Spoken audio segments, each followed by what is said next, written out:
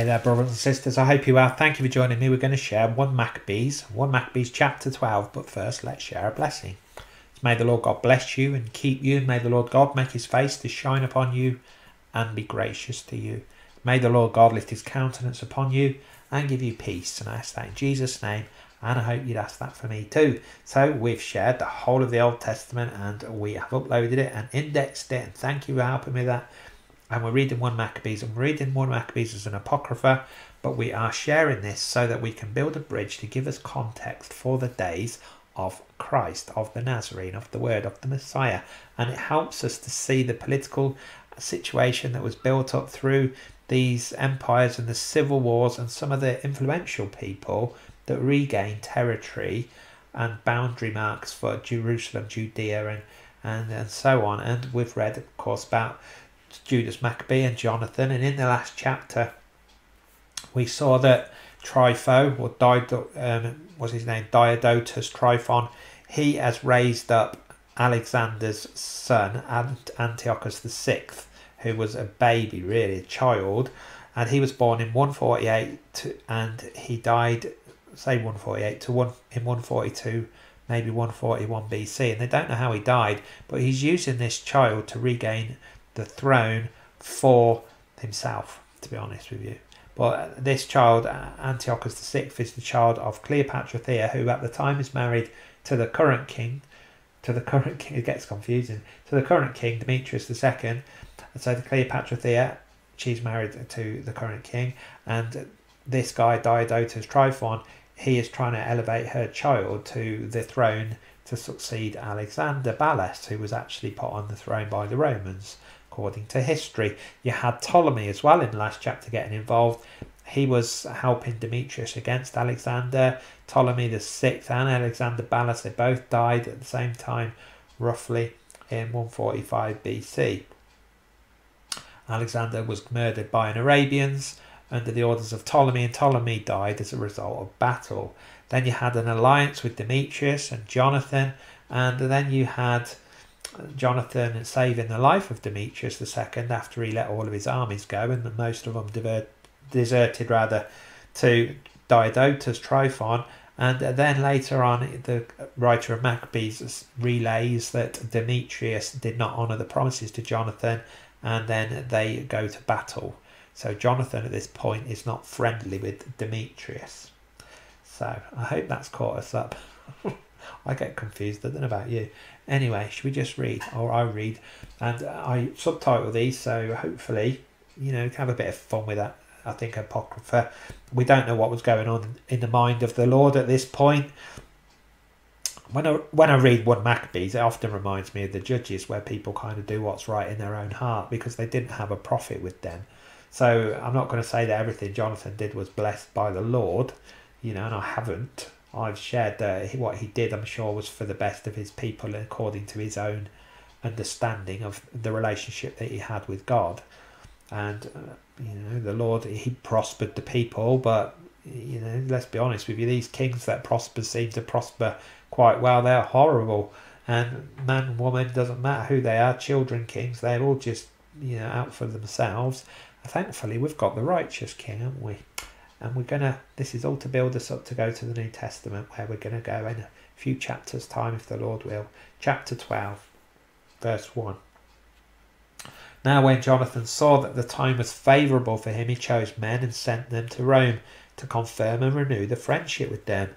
He also sent letters to the same effect to the spartans and to other places so they went to rome and entered the senate chamber and said the high priest Jonathan and the Jewish nation have sent us to renew the former friendship and alliance with them, and the Romans gave them letters to the people in every place, asking them to provide for the envoys safe conduct to the land of Judah. I'm sure the Romans at this point were kind of watching what was going on with Ptolemy and the Seleucid Empire. They were kind of friendly with Ptolemy, but they didn't want to get him too powerful.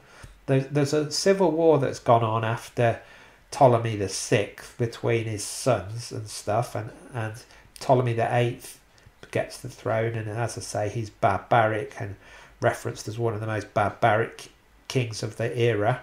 But the the empire of the Ptolemies seems to weaken at this point, and the empire of the Seleucid empires after Demetrius is never the same again.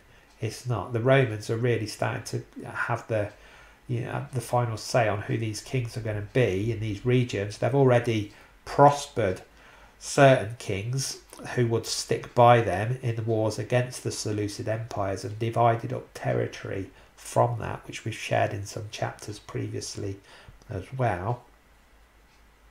But Jonathan here is just making sure that the Romans aren't against what he is doing. And I presume they just want to stay out of it and see where the cards land.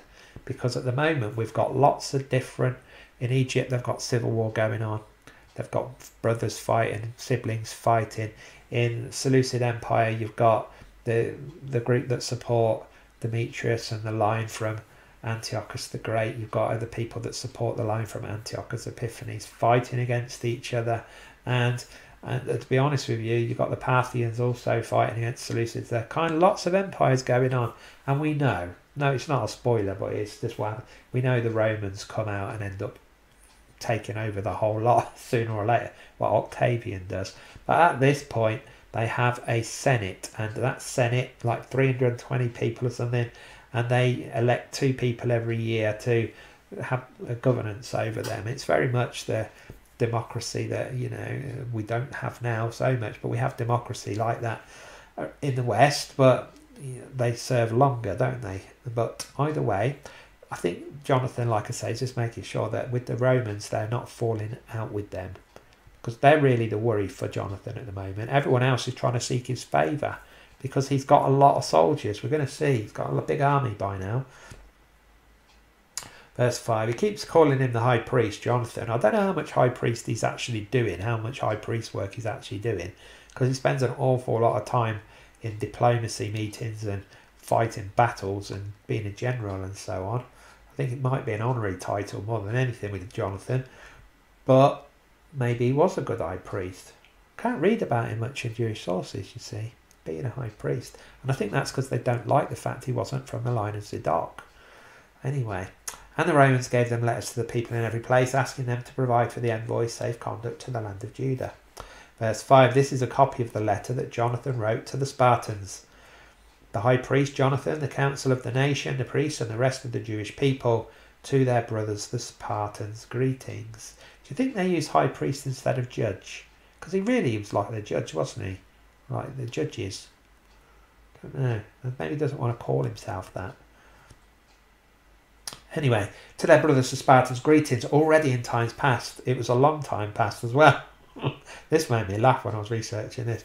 Already in times past, the letter was sent to the high priest Onias from Arius, who was your, who was king among you, stating that you are our brothers, as the appended copy shows. This letter was sent. Onias the first was high priest from 323 to 290 BC, around the time of Alexander the Great.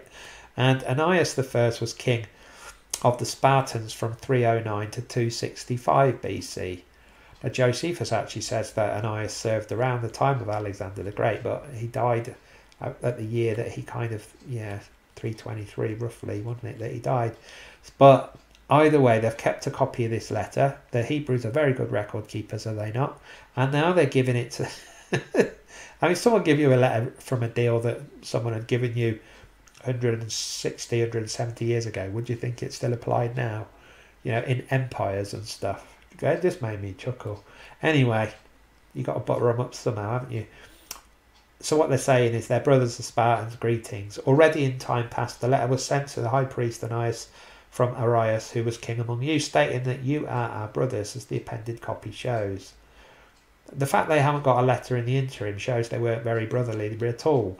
Otherwise, they would have had frequent kind of better letters and more common letters than this ancient manuscript to kind of show. But either way, stating that you are, and you see the political flannel that's going on here as well. You know, they don't they don't mean it. They just don't want them to get involved in any scuffling around. You know, they want to check with Rome and Sparta that that they're going to be left alone, and that in effect, then they've got independence to a point because the Seleucid they're too busy fighting among themselves, and so are the Egyptians. So really, Jonathan's got quite a strong position, but he's going to make a deal again with the devil, I'm afraid, and it's going to cost him, which is in the form of Tryphon. Anyway, Jonathan, the high council of the nation, already in times past, the letter was sent from our high priest Onias to Arius. Verse 8 Onias welcomed the envoy with honour and received a letter which contained a clear declaration of alliance and friendship. Therefore, with no need of these things, since we have as encouragement the holy books that are in our hands, that's the law and the prophets. We have undertaken to send to renew our family ties and friendship with you so that we may not become estranged from you, for considerable time has passed since your letter to us.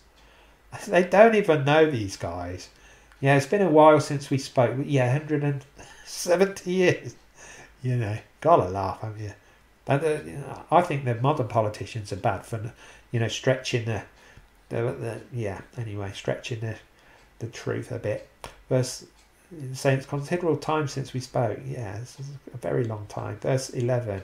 We therefore remember you constantly on every occasion both at our festivals and on the other appropriate days, at the sacrifices that we offer and in our prayers, as it's right and proper to remember brothers. Do you think they did that? They didn't keep the feast for themselves, let alone for the Spartans. Let's be honest. In Malachi, we read Malachi, which was you know before before um, Alexander the Great. But let's be honest, when when we're looking at the Hebrews, the history of the people didn't really change that much, did it? Anyway, we were unwilling to trouble you and our allies and friends with these wars, for we have the help that comes from heaven for our aid. So we were delivered from our enemies, and our enemies were humbled. We therefore have chosen Numenius, son of Antiochus, and Antipater, son of Jason, and have sent them to Rome to renew our former friendship and alliance with them, and we've commanded them to go also to you and greet you and deliver to you this letter from us concerning the renewal of our family ties. And now please send us a reply to this. And this is a copy of the, le- of the letter that they sent to Onias, King Arius of the Spartans, to the high priest Onias, greetings. It's been found in writing concerning the Spartans and the Jews that they're brothers and are of the family of Abraham. So are the Idumeans, the Edomites family a lot, and the Ammonites as well, but that didn't stop them murdering them, did it? Either way, verse 22. this is just political stuff. You can see why it's apocryphal, can't you? It's this complete flannel for the most part. Let's be honest. It's but it's they're saying nice things. They're trying to point out some genealogical. That didn't help the Samaritan woman at the well who wanted to go to worship at Jerusalem, and she was probably a lot closer to the Hebrews than the Spartans were ever going to be, uh, in their hearts anyway. But you know. And now, verse 22, that we've learned this, please write to us concerning your welfare. Please tell us about your welfare. We on our part write to you that your livestock and your property belong to us, and ours belong to you, and we therefore command that our envoys report to you accordingly. Verse 24 Now Jonathan heard that the commanders of Demetrius had returned with a larger force than before to wage war against him, so he marched away from Jerusalem and met them in the region of Hamath, for he gave them no opportunity to invade his own country. Territory Hamath is Upper Syria, northeast of Qusir. It's on the edge of the boundary of the region that Jonathan controlled, but further north even than that.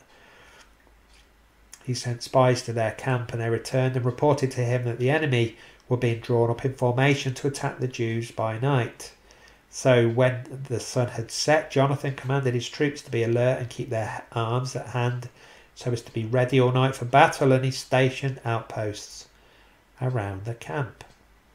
When the enemy heard that Jonathan and his troops were prepared for battle, they were afraid and were terrified at heart. So they kindled fires in the camp and withdrew. But Jonathan and his troops did not know it till morning, for they saw the fires burning. And then Jonathan pursued them, but he didn't overtake them, for they'd crossed the Eleutherus River. Yeah, River. So Jonathan turned aside against the Arabs who were called Zabadeans, and he crushed them and plundered them. Then he broke camp and went to Damascus and marched through all that region. What Jonathan is on a he's on a to be honest, he's on a conquest thing, isn't he, at the moment? He's trying to get all the land back that he possibly can while he can and govern that as Hebrew land. I think he's looking and trying to regain the land that Joshua had and maybe even the land that was promised because the land that was promised under the law was much more than they actually got during the time of the judges because they didn't invade the lands that they were told to invade. But Jonathan here is on a mission to to just defeat enemies, to crush people, and, and they were successful for a point. Verse 33 Simon also went out and marched through the country as far as Ashkelon and the neighbouring strongholds. He turned aside to Joppa, took it by surprise, for he'd heard that they were ready to hand over the stronghold to those whom Demetrius had sent. And he stationed a garrison there to guard it. Jo- Simon was very wise. His father Matthias called him wise in chapter 2 of 1 Maccabees, and he is. Very clever, this John Simon that we're going to see. He was high priest as well. Verse 35. When Jonathan returned, he convened the elders of the people and planned with them to build strongholds in Judea, to build the walls of Jerusalem still higher, to erect a high barrier between the citadel and the city, to separate it from the city, in order to isolate it so that its garrison could neither buy nor sell. So they gathered together to rebuild the city. Part of the wall on the valley to the east had fallen, and he repaired the section called Kaf- Kaphinatha Kaphinatha. Simon also built Adida in the Shephelah. He fortified it and installed gates with boat with bolts. Adida was west of Modiin, the hometown of Mattathias. And I might have it on this map. I, I don't know if I have though. Either way. Modiin, I'll just give you Modiin. Why not? It's kind of like there where my finger is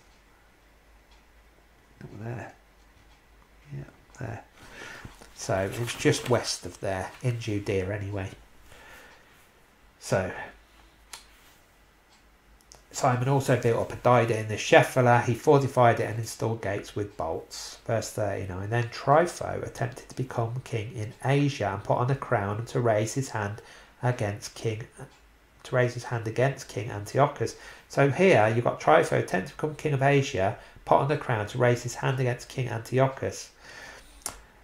King Antiochus was this child, Antiochus the seventh, and he was the son of Cleopatra the, uh, let's say, born 148 BC, died, he was about between seven and nine years old, uh, just a, quite a big region, we don't know exactly when he died, 142, 141 BC. Some people say that he was killed by Trypho. Diodotus Tryphon was a general of Alexander Ballas, and he was playing political games here. And as I say, he was a high-ranking, obviously, general of Alexander Ballas, and he wanted the throne of the Seleucid Empire, and he won the throne of the Seleucid Empire for a very short time. But he did this on the back of Antiochus the seventh, this child of Alexander Ballas, and and Cleopatra Thea. So yeah. So verse 14, he feared this Trypho died Diodotus Tryphon. If you look him up, you'll see he's quite a charismatic kind of amazing figure, but cruel, you know. Were cruel and, and he's playing, he wants the Seleucid throne. It's weakening Demetrius' kingdom all the time, this infighting. Anyway, verse 40, he feared that Jonathan might not permit him to do so, but might make war on him, so he kept seizing, seeking to seize and kill him, and he marched out and came to Beth Shan. Jonathan went out to meet him with 40,000 picked warriors and he came to Beth Shan. Beth Shan is a city in Issachar. It means house of rest, house of rest, and it's where I think the bodies of Saul and Jonathan were fastened to the wall. It became known as a distinct area rather than a city, Beth Shan. It became known as the district, and you see that in 1 Kings 4, verse 12 verse 42. When Trypho saw that he'd come with a large army, he was afraid to raise his hand against him. So he received him with honour and command, commended him to all his friends. And he gave him gifts and commanded his friends and his troops to obey him as they would himself. Then he said to Jonathan, Why have you put all these people to so much trouble when we are not at war? Yeah. Dismiss them now to their homes and choose for yourself just a few men to stay with you and come with me to Ptolemy and I'll hand it over to you as well as all the other strongholds and the remaining troops and all the officials, and we'll turn around and go home, for that's why I'm here. So, this Trypho Diodotus is saying to Jonathan, You don't need to come out to war. I've come to seek peace and just want to hand over the garrisons to you and the soldiers because all I want is not just not for Demetrius to regain the position here. And as soon as I know that you're in control, then I'm just going to go home and give up because that was my. I just wanted to weaken Demetrius. That kind of stuff. He went to an awful lot of trouble, didn't he, to, to do that? And of course, Jonathan, he's heard it before, but he's going to give him the benefit of the doubt. It's going to cost him as well. Verse 46 all these guys Jonathan made a deal with, these local, you know, they weren't local, but these empires from you know, Seleucid empires, these uh, these different kings, they all backed out all the time, didn't they? Why would he believe it? But Jonathan keeps prospering by this infighting. So he probably thinks what happened was this. He goes with a thousand. It's going to tell you here, three thousand. But I think it was a thousand men that he went with, and uh, he thought he'd be quite strong in Ptolemy with a thousand, but it was a trap. Now, he doesn't kill him here, Trypho, spoiler alert, but he will, and he does it cruelly as well. he tries to weaken Simon, and Simon, of course, so that he doesn't, you know, so that he doesn't look like a bad brother or go against the law in any way to, uh, you know, be complicit in, uh, you know, taking the leadership because Jonathan's death. He he tries to placate this Diodotus Tryphon, but he murders him anyway. And Simon ends up getting victories over the uh, yeah these people instead. Anyway, spoiler that was. Verse 46 Jonathan trusted him and did as he said. He sent away the troops, and they returned to the land of Judah. He kept with himself 3,000 men, 2,000 of whom he left in Galilee, while 1,000 accompanied him. But when Jonathan entered Ptolemy, the people of Ptolemy closed the gates. They seized him, they killed with the sword who all who had entered with him. They didn't kill Jonathan yet, though. Then Trypho sent troops and cavalry into Galilee and the Great Plain to destroy all Jonathan's soldiers, but they realized that Jonathan had been seized and had perished along with his men, and they encouraged one another and kept marching in close formation ready for battle. When their pursuers saw that they'd fight for their lives, they turned back. So they all reached the land of Judah safely, and they mourned for Jonathan and his companions, and were in great fear, and all Israel mourned deeply. All the nations around them tried to destroy them, for they said, They have no leader or helper. Now therefore let's make war on them and blot out the memory of them from humankind. But Jonathan's not dead yet. And Simon, he was to me he was one of the greatest of the Maccabees, if not the greatest, because he's very wise as well. And he regains a lot of land, all of this Philistine area. He was high priest, Simon, as well. The young, you know, there we go. And he was the last of the Maccabean brothers, Simon Maccabee. We're going to get into it. I was going to tell you his history, but that would spoil the Bible studies, so I don't want to give you it now. Let's do some work and share it together, eh? That's why I say this is a shorter Bible study because it's a shorter chapter. The chapters are long. I'd normally like to do Maccabees quite quickly, but there's a lot going on as well. But we'll get there. We'll get there if the Lord will, and then we'll do these 16 chapters. We're nearly, you know, not so far away from 16, and I'm enjoying the journey through history anyway. I hope you are too. If you want to add to the study, leave it in the comments for other people. It's important. Other people, we feed off each other, and the knowledge oftentimes leads us to other places and the Lord in our world, in our walk, He, with me anyway, sometimes through something that would seem kind of just vague to other people, that will lead me to something that I need in my life. I'll tell you a secret. I'll do an anecdote because I've got a couple of minutes on the study. Why not?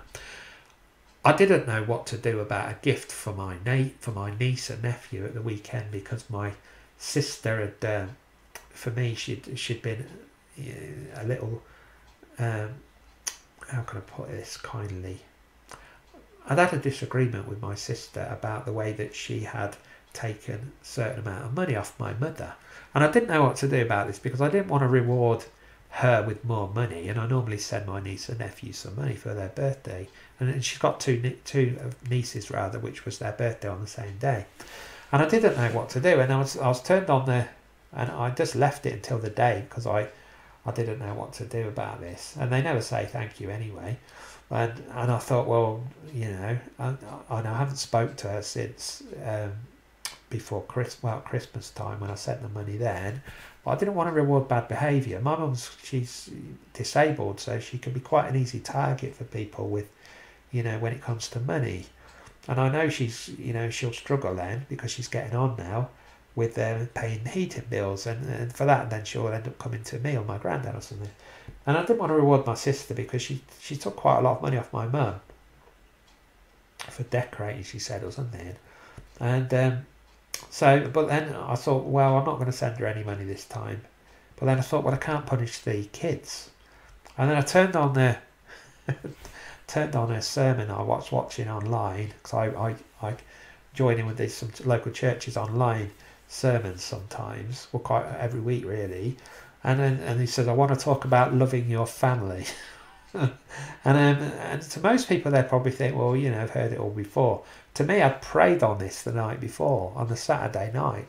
So I don't know what to do about this. I'm in a sticky spot. I don't want to punish the children for the parents, but to be honest with you, the situation is such that I've, I've got a heart to, to send them anything. Neither because the children ever say thank you or because the mother has been so, you know, to be been so uh, disloyal to her parents, like, you know. Um, but anyway, and the message was almost, to me, it was uh, just ignore that and just do what you can to kind of encourage love. So I did, and I just sent them twenty pound each. Not a lot, but it's the principle that I sent them something, and um, that come probably from most people would have probably listened to that sermon and thought, "Well, yeah, I've heard this before." To me, it was an answered prayer, and that's sometimes what comments and stuff do online for people. It just does. That's why I say it's important, and also it's it's truth. So if I make a mistake or something, then pointing something out to someone, it helps someone to get to, to get truth, and I don't want to lead people astray because I'll be held to account, and I'll never do on purpose. But you know, no one's perfect, and we all make mistakes. So, yeah. So thank you for helping people. That's what I want to say. Thank you for contributing to the study. Thank you for putting up with me, and God bless you and your family. Until next time, Jesus' name, Amen and Amen.